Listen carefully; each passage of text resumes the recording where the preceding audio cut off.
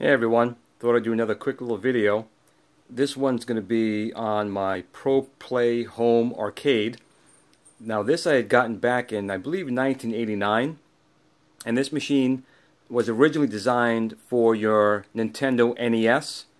Uh, you would plug basically your Nintendo, or put your Nintendo NES right in this little slot here. And there'd be two adapters for these uh, joystick controls, which are micro switch uh, joysticks and you would have your TV monitor obviously here, and you'd play your Nintendo.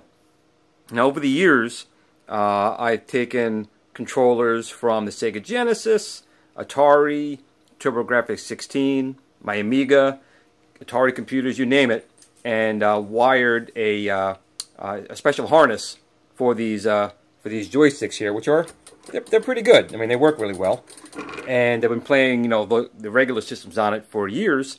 And then, of course, when MAME came along, uh, I was probably one of the uh, first people, I believe anyway, uh, to put uh, early MAME or early uh, arcade emulators on this machine here uh, ages ago. Of course, now it's the norm. It's big business, people building these cabinets. But not too many people remember this Pro Play home arcade, which I got at Toys R Us, I believe, for $90 back in 1990. And you see we have MAME uh, set up here. I'll fire up a game in a second and let's just see how it runs. Okay, I've loaded up here one of my uh, favorite games. Uh, good old Asteroids. One of my favorite uh, games. And uh, I built basically just something simple. Uh, I'd always want to put a real coin cabinet in here, but you know, time never seems to allow to get some of these projects done. So I just have some simple buttons I put here for quarters, escape, so forth and uh, uh, directional mouse pad there. So let me see if I can get some credits put in here. And if I remember which keys, oh, wrong button there.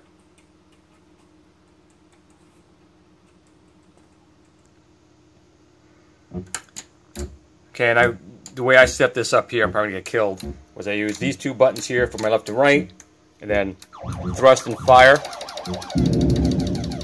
really hard to play asteroids with one hand. But you do what you can, right? Ooh! Yeah, you really need two hands to play Asteroids.